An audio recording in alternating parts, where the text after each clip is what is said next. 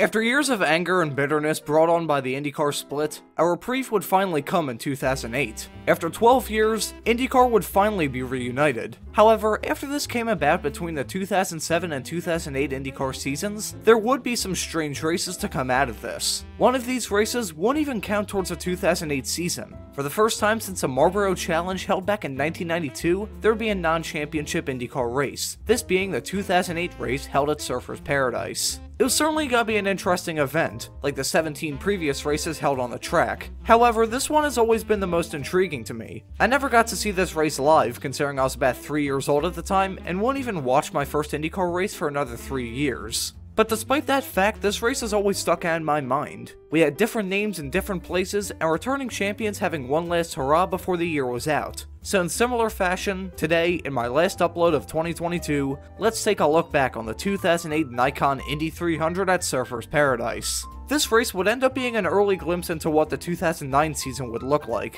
Dario Franchitti would return to the series after a disappointing year in NASCAR, driving what would end up being the iconic number 10 for Chip Ganassi. As for the previous driver of that car, Dan Wheldon, he would sign for Panther Racing, taking Vitor who would drive for AJ Foyt. This would leave Brit Darren Manning without a seat. Will Power drove for KV Racing, which had absorbed the remains of Team Australia after the reunification. Power was set to make his final start for the team he started his career with. As in early 2009, he would join Team Penske. Speaking of Will, he would start from the pole in Surfer's Paradise for the third year in a row. Although he was a fast qualifier on the streets, he had not gone to victory lane there before. In fact, entering this race, no Aussie had gone to victory lane at home. Getting back to the starting grid, Will Power is on pole as I said, and joining him on the front row would be your 2008 Indy 500 winner and 2008 IndyCar Series champ Scott Dixon. The first two groups of qualifying were affected heavily by rain, seeing Danica Patrick and AJ Foyt both bring out yellows for incidents, disallowing their times and putting them on the back row of the grid. Townsend Bell would be the slowest qualifier, with his time in the first group being 24 seconds slower than Will Power's pole time. With the storylines from qualifying out of the way, we can get to the start of the race. Will Power would get a great start, jumping ahead of Scott Dixon. Ryan Briscoe in third also got a good start, going side by side with Scott into turn 1. Dixon would bail out of the turn, taking to the runoff area. Alex Tagliani would do the same.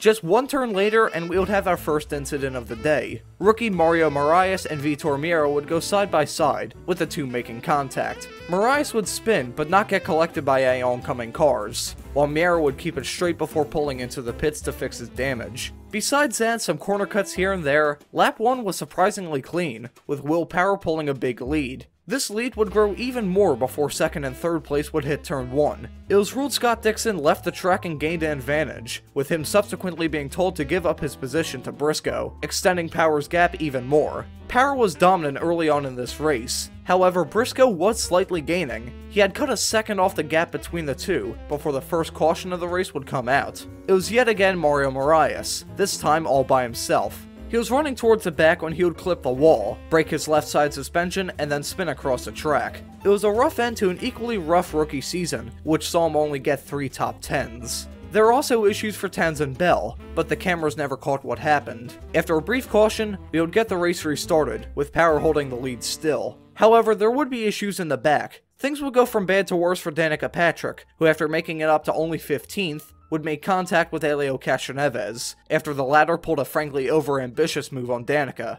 Helio would pick up a puncture, as Danica broke her front wing. Besides that, however, the restart was clean for the most part. This was until lap 17. Will Power was still in the lead, but Briscoe was closing in yet again. The lead was down to 1.3 seconds when Will Power entered the turn 5-6 chicane. He would hit the inside wall of turn 5, break his left front before hitting the outside wall of 6. He couldn't even bring the car back to the pits, pulling into the escape road of turn 8. The man who would eventually break the record for the most poles ever in IndyCar had a pretty bad relationship with pole position back then.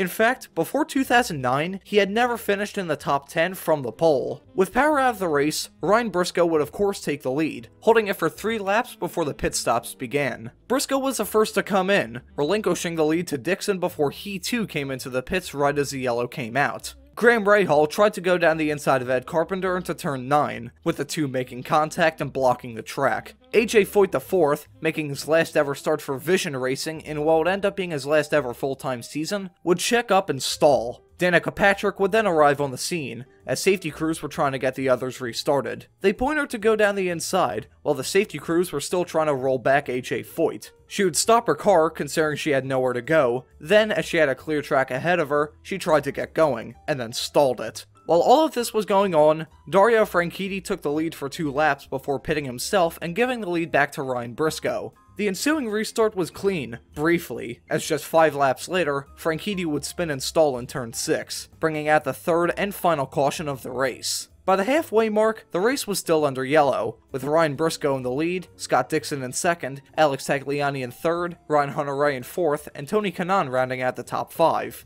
During the next commercial break, more specifically lap 34, Tony Kanaan's day would come to an abrupt end, after his right rear suspension broke. This was certainly a shame for Tony, but a blessing for EJ Viso, who would be elevated up into the top 5 as a result. The next pit cycle would be fairly clean, as after Viso and Tagliani led laps at one apiece, the race would fall back into the hands of Ryan Briscoe. After 60 laps on the day, Ryan Briscoe would score the race victory, with Scott Dixon shortly behind and Ryan Hunter-Reay about 10 seconds back of the both of them. Briscoe would become the first and only Aussie to win the race, in what would end up being the final Gold Coast Indy 300. The race organizers struck a deal with the A1GP series to host a race in 2009, but after that series collapsed, it became a staple of the V8 Supercars schedule, a race still being held annually. As for this race itself, it really wasn't that good. It certainly had its moments, but for a non-championship race, I was expecting something more. But then again, that's a double-edged sword effect you get with non-championship races. You want to win because you have nothing to lose, but that also runs a risk of wrecking a car when you have nothing to gain either.